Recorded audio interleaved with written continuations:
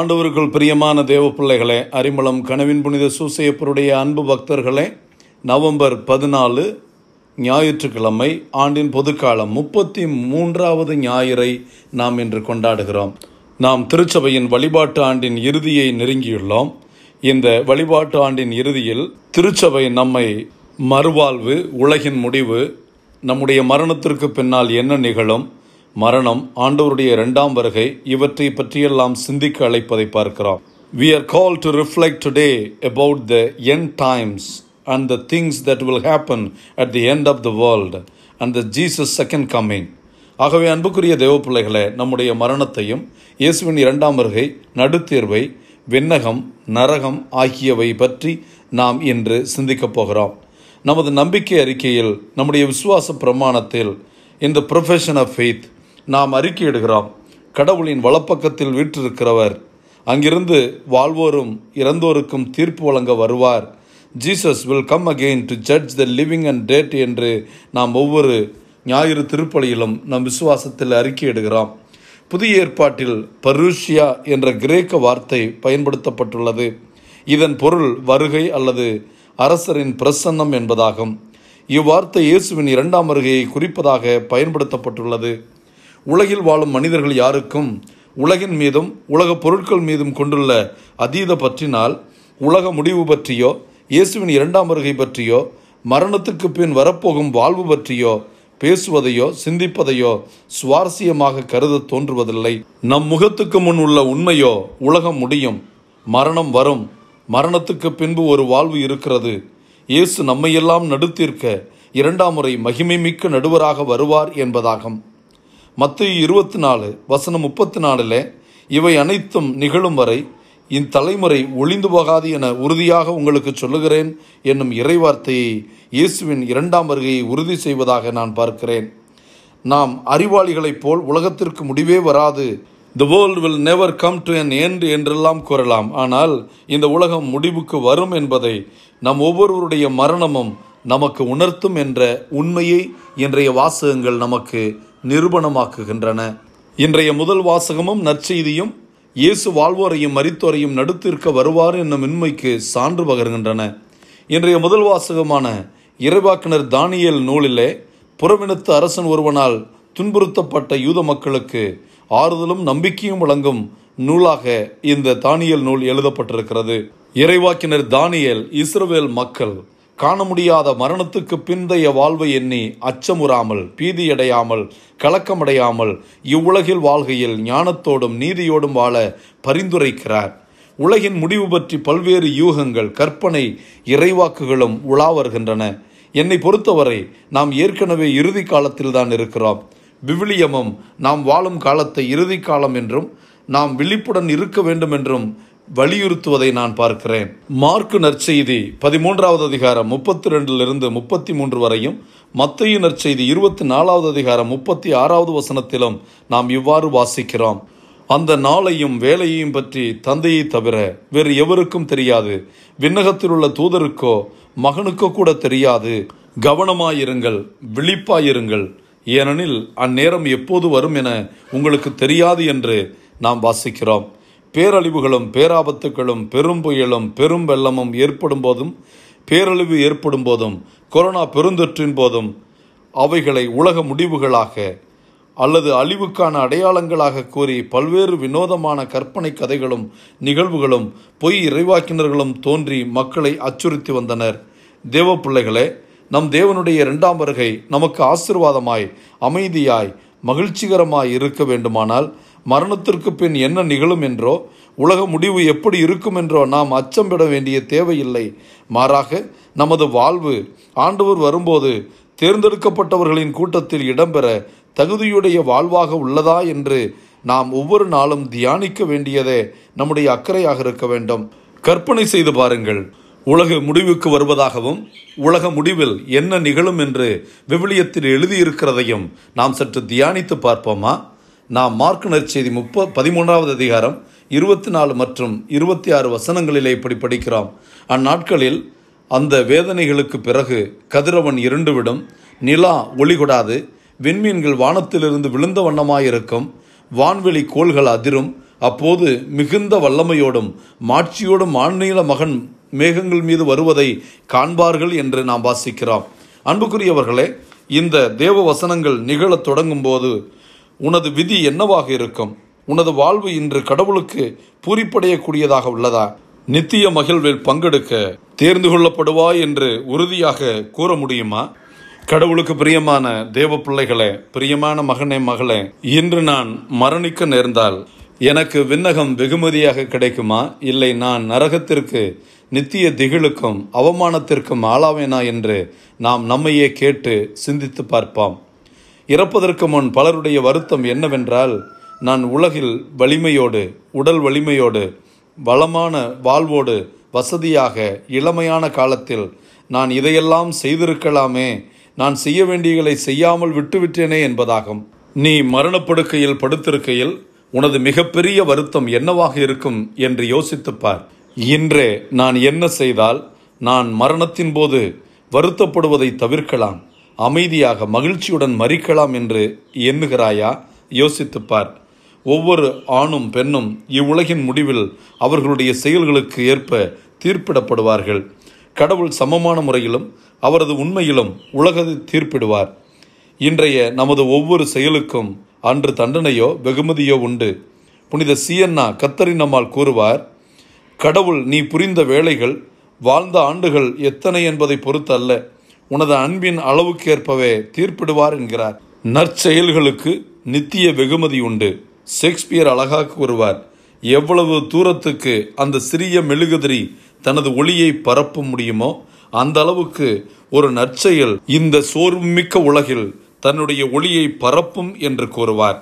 நமது இன்றைய தீய செயல்களுக்கு தற்காலிக மற்றும் நித்திய தண்டனை உண்டு. புனித பௌரடியார் கலாத்திய திருச்சபைக்கு எழுதிய மடலில் ஏமாந்து போக வேண்டாம். கடவுளை கேலி செய்ய முடியும் என்று எண்ணாதீர்கள். ஒருவர் தாம் விதைப்பதையே அறுவடை செய்வார் என்று கலாத்தியர் ஆறு ஏழிலே குறிப்பிடுகிறார். இவ்வுலகில் வாழும் காலமே திருந்துவதற்கு ஏற்ற காலம் ஒப்புரவாதவதற்கு ஏற்ற காலம் செய்த தவறுகளுக்கு ஏற்ற பிரதிபலனை அல்லது பரிகாரத்தை செலுத்தும் காலம். நாம் பாவ சங்கீர்த்தனம் செய்ய போகும்போது ஒப்புரவு வழிபாட்டில் நம்முடைய பாவங்களை எல்லாம் அறிக்கையிட்டிருக்கலாம். பாவ மன்னிப்பும் பெற்றிருக்கலாம். ஆனால் அப்பாவங்களுக்கான தண்டனை அப்படியே இருக்கும்.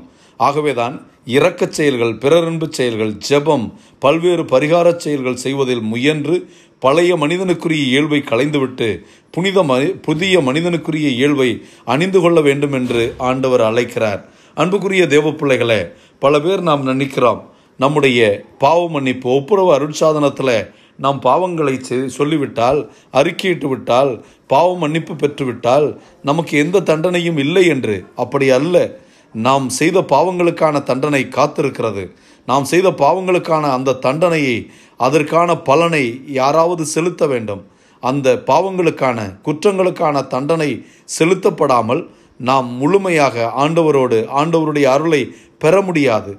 ஆகவே ஒப்புரவு அருட்சாதனத்திற்கு நீங்கள் சென்று உங்கள் பாவங்களை அறிக்கையிடும்போது உங்கள் பாவங்கள் மன்னிக்கப்படுகின்றன. ஆனால் பாவங்களுக்கான தண்டனையை உங்களுக்காக எனக்காக நம் ஆண்டவர் இயேசு கிறிஸ்து சிலுவையிலே அவர் பரிகாரம் செய்துவிட்டார்.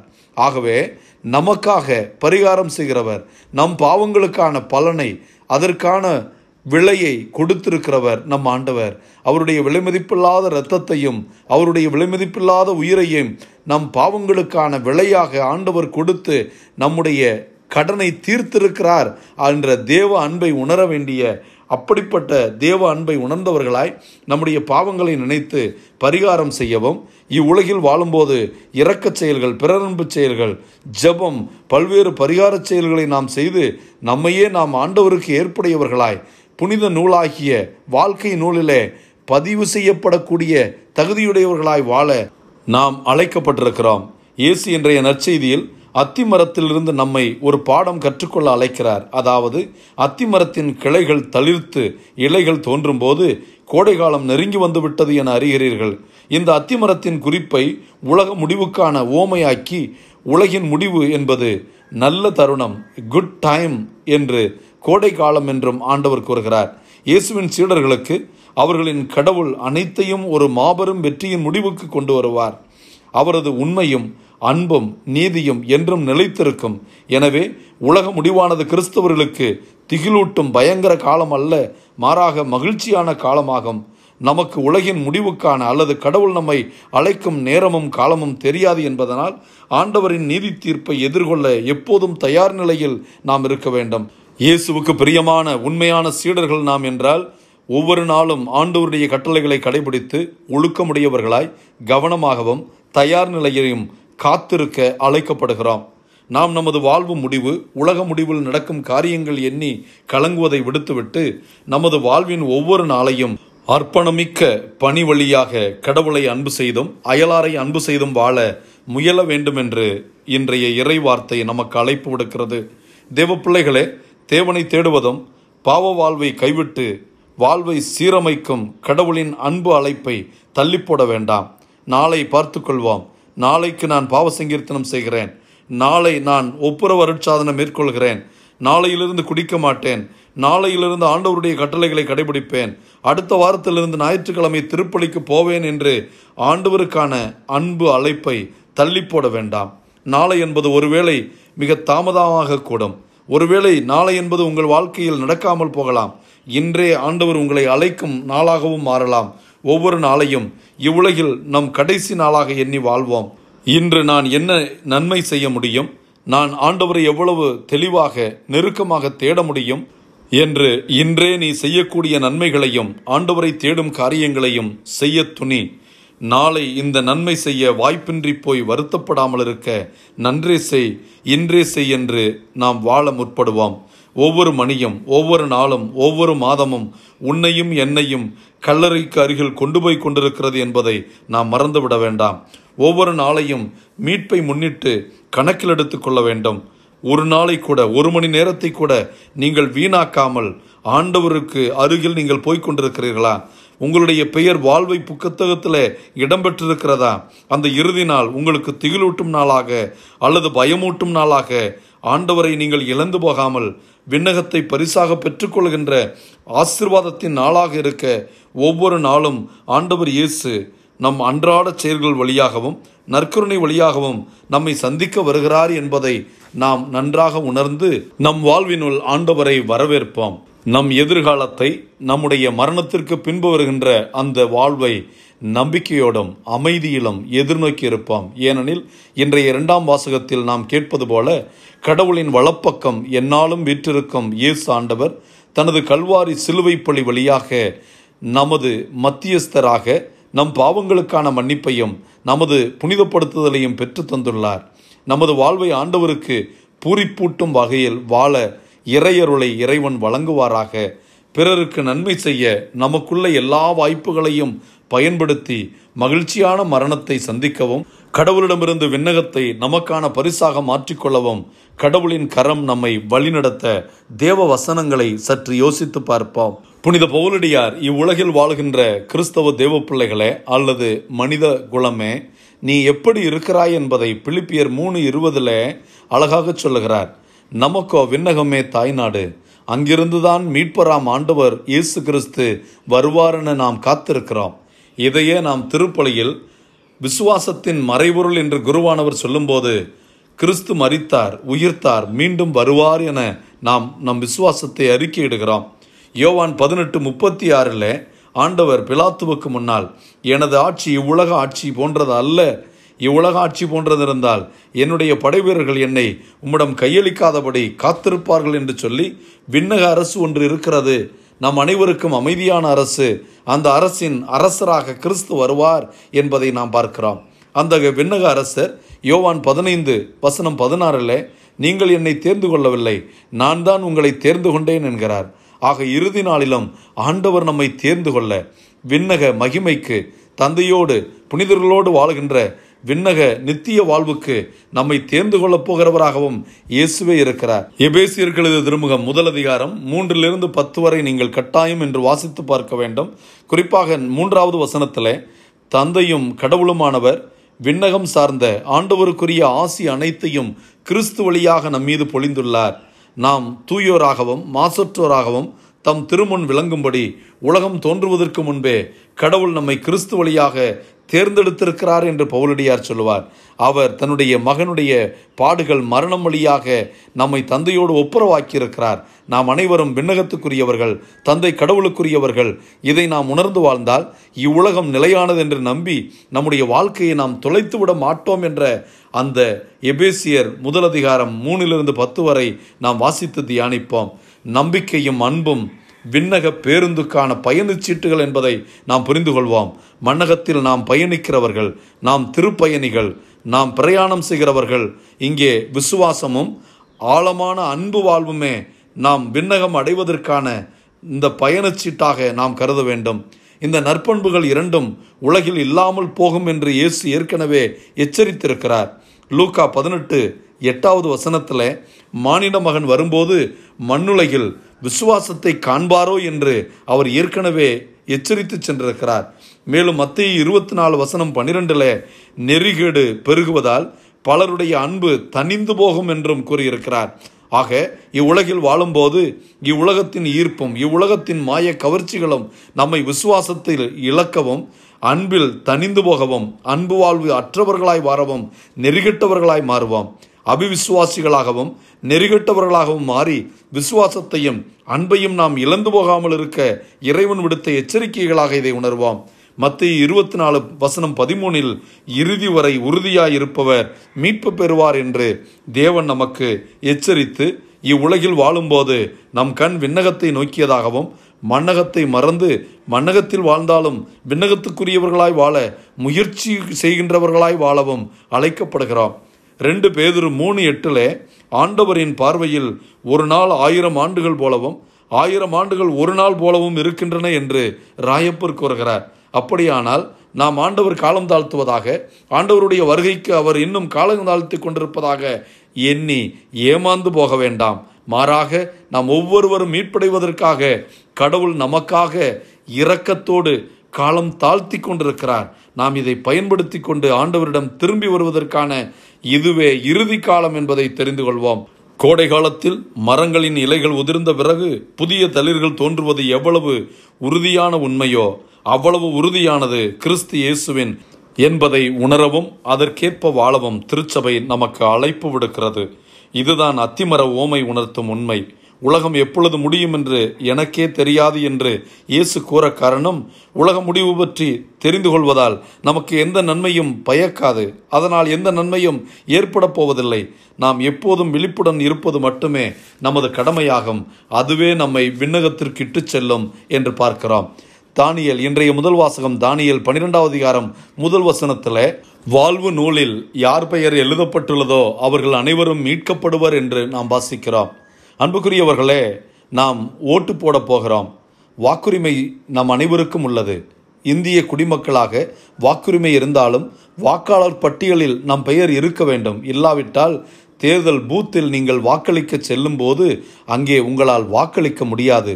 அதுபோல வாழ்வு நூலில் நம் பெயர் இல்லை என்றால் நாம் மீட்படைய முடியாது என்பதையே இன்றைய முதல் வாசகத்தில் இறைவாக்கினர் தானியல் குறிப்பிடுகிறார்.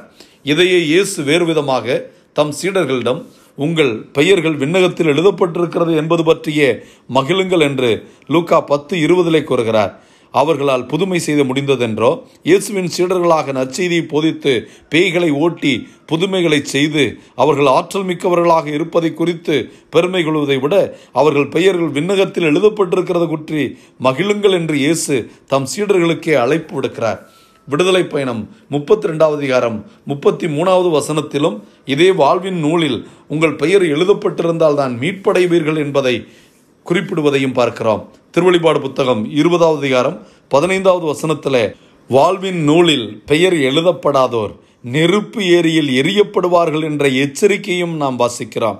ஒன்று யோவான் மூணு பத்தில் அன்பு செய்கிறவர்கள் சாவிலிருந்து வாழ்வுக்கு கடந்து வந்துள்ளனர்.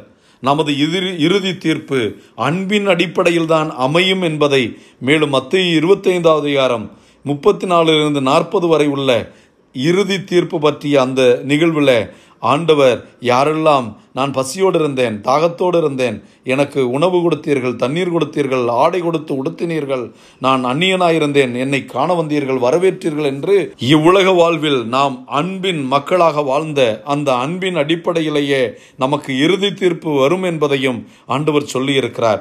தேவ பிள்ளைகளே அன்புலக வாழ்பவர்கள் உலக முடிவு பற்றியும் மரணம் பற்றியும் அச்சமடைய தேவையில்லை. ஏனெனில் ஒன்று யோவான் நாலு பதினெட்டில் அன்பில் அச்சத்திற்கு இடமில்லை. மாறாக நிறை அன்பு அச்சத்தை அகற்றிவிடும் என்று வாசிக்கிறோம். அன்புக்குரியவர்களே நம் தேவன் இரக்கமும் கருணையும் வல்லமையும் ஆற்றலும் நம் மீது ஆழமான அன்பும் கொண்டிருக்கிறவர். உலக முடிவை அவர் அழிவாக இன்றி படைப்பின் நிறைவாக மாற்றக்கூடியவர். கிறிஸ்துவின் முதல் வருகையை ஏற்று விசுவசித்து இரண்டாம் வருகையை எதிர்நோக்கி இருக்கும் நாம் வரும் ஆண்டவர் கட்டாயம் வருவார் என்று விசுவசிக்கிற நாம் இயேசு ஆண்டவரே வாரும். வாரும் இயேசுவே வாரும். எங்களை மீட்க வாரும். நாங்கள் விசுவாசத்தோடு பேரன்போடு வாழ வரங்களை தாரும் என்று என்று மன்றாடும் மக்களாக நமது வாழ்வை வானகம் நோக்கி நகர்த்தி கொண்டிருப்போம். தேவ பிள்ளைகளே நமது இறுதி நாள் நம்முடைய மரணம் இவ்வுலகின் முடிவு எப்படி வரும் என்பதை ஆமோஸ் இறைவாக்கினர் ஐந்தாவது அதிகாரம் பத்தொன்பதாவது வசனத்தில் இப்படி சொல்லுகிறார்.